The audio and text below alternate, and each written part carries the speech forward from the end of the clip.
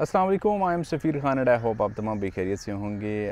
Romania and Bulgaria आपको जैसे पता है कि शेंगन में एंटर हो गए हैं। इससे पहले क्रोशिया पे हमने बात की थी, जो कि इससे पहले शेंगन में नहीं था, लेकिन पिछले साल क्रोशिया भी शेंगन में शामिल हो गया था और काफ़ी लोग क्रोशिया में गए हैं। वहाँ पे काफ़ी लोगों को जॉब्स मिली हैं। हो सकता है पहले ब्लू कॉलर जॉब्स उन्होंने की हों, यानी उनको पहले हाई स्किल्ड जॉब्स ना मिली हों। और वो थोड़ी सी मुश्किल भी होती हैं, जहरी बात है आपको। सबसे पहले अच्छी जॉब नहीं मिल सकती यूरोप में। सबसे पहले आपको कोई नॉर्मल जॉब करनी पड़ती है, आपको वहाँ पे सेटल होना पड़ता है। साथ ही साथ आप कोशिश में रहते हैं। हम यही एडवाइस करते हैं लोगों को कि जो भी आपको फ़र्स्ट जॉब मिले, आपने उस पर सिर्फ़ टिकना नहीं है। आपने कोई और उससे अच्छी जॉब्स देखनी हैं, अगर आपको वो मिल जाती हैं ईज़िली तो आप उनको अवेल कर सकते हैं। तो क्रोशिया में काफ़ी लोग गए हैं, पाकिस्तान से गए हैं, इंडिया से गए हैं। अब रोमानिया एंड बुल्गारिया, ये भी शेंगन में शामिल हो गए हैं तो अब यहाँ पे इन पे प्रेशर है कि शेंगन का प्रेशर है बिकॉज़ शेंगन इनको कहता है कि आपने टैक्स कलेक्शन ज़्यादा करनी है। अब आपको शेंगन में तो शामिल हो गए हैं आप रोमानियन बुल्गारिया बट आपने जो टैक्स करना है कंट्री का, वो बढ़ाना है। आपने कंट्री की जीडीपी ग्रोथ को और मज़ीद बढ़ाना है। तो इस चीज़ के लिए वो ज़्यादा रिक्रूटमेंट भी कर रही हैं जितनी भी डिफरेंट कंपनीज़ हैं रोमानिया में, जितने भी बड़े बड़े बिजनेसेस हैं तो वो रिक्रूटमेंट भी कर रही हैं, इसके साथ साथ अपनी और कंपनी को ग्रोथ कर रही हैं, अपनी कंपनी को बढ़ा रही हैं और अपने बिज़नेस को ग्रोथ कर रही हैं। अब उसी वाले से आपसे बात करना ज़रूरी है, जो मुख्तलिफ़ जॉब्स आई हुई हैं, उसमें आप ज़रूर अप्लाई करें और इसके लिए अप्लाई करने के लिए आपको मैं यही कहूँगा कि आपने एजेंट से बचना है बिकॉज़ एजेंट्स इसका बहुत फ़ायदा उठा रहे हैं। रोमानियन बुल्गारी जैसे ही शेंगन में एंटर हुआ है तो एजेंट्स हजरात या डिफरेंट एजेंसीज जो हैं, वो इससे ज़्यादा फ़ायदा उठा रही हैं। और वो लोगों को जो वर्क परमिट्स हैं, वो जैन वर्क परमिट्स नहीं होते। वो पुराने उनके पास वर्क परमिट पड़े होते हैं, जो कि एक्सेप्टेबल नहीं होते, जो कि इमिग्रेशन बाद में मसला कर सकती है। इमिग्रेशन आपको एयरपोर्ट पर रोक सकती है। आपके लिए मसले हो सकते हैं मज़ीद। तो इस चीज़ से आपने बचना है, आपने जैन काम करना है और जैन तब भी होगा जब आप ख़ुद भी अप्लाई कर सकते हैं। डायरेक्ट आपने ऑनलाइन कंपनीज़ में अप्लाई करना है। आपने कंपनीज़ को अप्रोच करना है डायरेक्टली आपने उनको ईमेल पे कांटेक्ट करना है, आपने उनके कांटेक्ट नंबर्स पे कांटेक्ट करना है। आपके साथ शेयर करूँगा, अभी अच्छी जॉब्स आई हुई हैं वहाँ पे जो आपको अप्लाई करना चाहिए। एक मेगा मॉल है रोमानिया का, जहाँ पे जॉब्स आई हुई हैं इस टाइम पे। उनका आपके साथ एड्रेस कॉन्टैक्ट नंबर, तमाम चीज़ें शेयर करना ज़रूरी हैं ताकि आप लोग ख़ुद भी अप्लाई कर सकें। आपने एक अच्छा सा सी बना लेना है यूरोप फॉर्मेट में सी बना लेना है, उसमें तमाम डिटेल्स लिखनी है। काफ़ी लोगों को अच्छा यूरोप फॉर्मेट का भी नहीं पता सी में तो ये भी उनमें कन्फ्यूज़न पाई जाती है। लेकिन आपने ये तमाम चीज़ें करके उसके बाद फिर अप्लाई करना है एक अच्छा सा होमवर्क करके आपने उसमें अप्लाई करना होता है। मज़ीद और भी डिफरेंट कंपनीज़ हैं डिफरेंट वेबसाइट्स हैं रोमानिया की, जिसमें आप अप्लाई करें, वो आपको लिंक्स डिस्क्रिप्शन में प्रोवाइड कर दिए जाएँगे। हाँ लेकिन ये है कि आपने ज्वाइन पे करना है डायरेक्टली ख़ुद ही करें। अब इसमें एक कंपनी है, एक मेगा मॉल है, जिसमें जॉब्स आई हैं, वो आप स्क्रीन पे देख सकते हैं उनके कॉन्टैक्ट भी हैं। आपने उनको, वैसे उन्होंने एड्रेस भी लिखा हुआ है, अपना कॉन्टैक्ट नंबर भी लिखा हुआ है, लेकिन आपने उनको ईमेल पे अप्रोच करना है। आपने जो भी अपना सीवी है और आपके एक्सपीरियंस लेटर्स हैं, उनकी ईमेल एड्रेस पे भेज दें। साथ में आपने ईमेल में लिखना भी है डिस्क्रिप्शन में आप तमाम लिख भी सकते हैं चीज़ों को, कि आप क्या काम करते हैं, आपका एक्सपीरियंस कितना है, किस फ़ील्ड से आपका ताल्लुक़ है आप क्या करना चाहते हैं, आपके फ्यूचर गोल्स क्या हैं, ये तमाम चीज़ें आप लिख सकते हैं। साथ में आपके जो भी कोई अचीवमेंट्स हैं, वो भी आप लिख सकते हैं। लेकिन ये तमाम चीज़ें होनी चाहिए। साथ ही साथ इसमें ये चीज़ भी आपने चेक करनी होगी कि जो आप जॉब अप्लाई कर रहे हैं, उनकी डिस्क्रिप्शन भी पढ़ लें।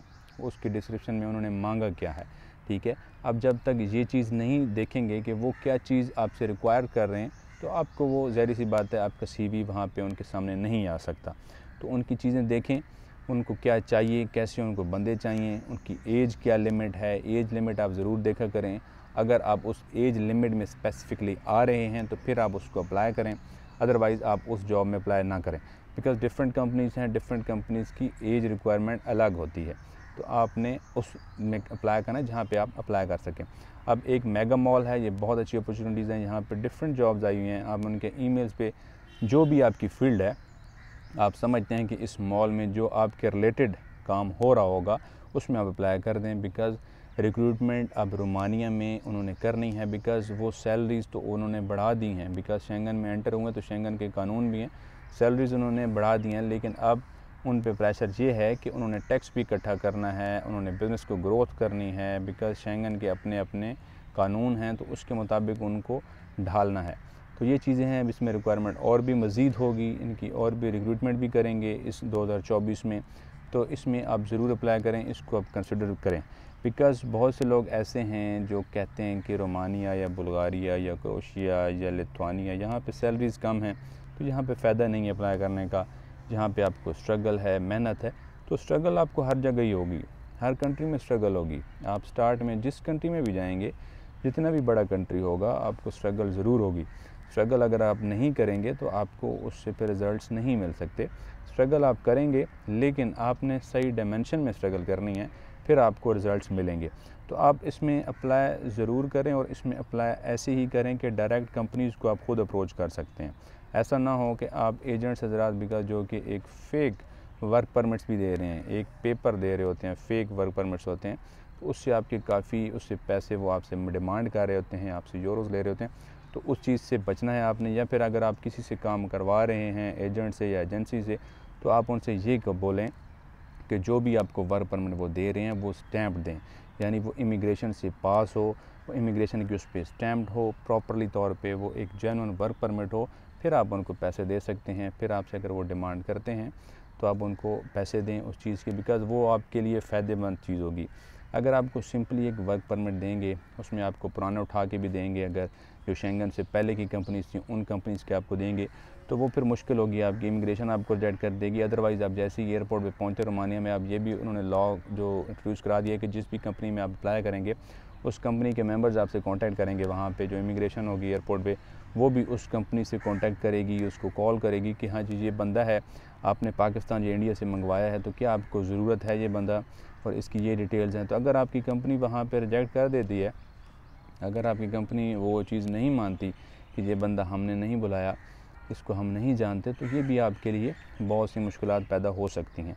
तो आपको रोमानिया में जाते हैं, आपको जॉब मिलती है, फिर आप अपना टी आर सी अप्लाई करते हैं, जो कि एक टेम्प्रेरी रेजिडेंस होती है। वो आपको मिल जाता है, जब आपको वर्क परमिट जैसे कि जैनन मिलता है तो फिर टी आर सी मिलती है।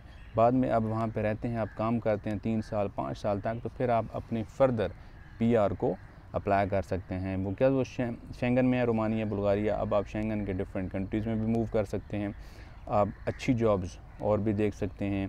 इसमें कोई बुरी चीज़ नहीं है कि आप वहाँ पे देखें, वहाँ पे अच्छी जॉब्स देखें, जिस जॉब में आप काम करें, उससे कोई और अच्छी जॉब्स देखें। अगर आपको वो मिल जाती हैं तो आप उसको अवेल करें, ठीक है? तो ये एक जेनवन पॉइंट है आपका कि आप जॉब्स अच्छी मिलें, जिसमें आपकी सैलरी अच्छी हो। बिकॉज़ रेमानिया अभी जो सैलरीज प्रोवाइड कर रहा है, पहले तो शेंगन से जब नहीं थे तो 600 साढ़े छः सौ यूरोज़ तक दे रहे होते थे नॉर्मली लेकिन अभी उन्होंने बढ़ा के थोड़ा सा ज़्यादा किया सैलरीज़ को। मज़ीद जितनी उनकी ग्रोथ बढ़ेगी जीडीपी बढ़ेगी, मज़ीद सैलरीज़ को इंक्रीज़ करते जाएँगे। अभी आपको जो एक नॉर्मल जॉब पे, यानी आपको कोई स्किल जॉब्स नहीं है ब्लू कलर जॉब्स हैं, आपको 800 900 यूरोज़ तक आप इजीली वहाँ पे अर्न कर सकते हैं। साथ में कुछ कंपनीज़ आपको ओवर टाइम की ज़्यादा देती हैं।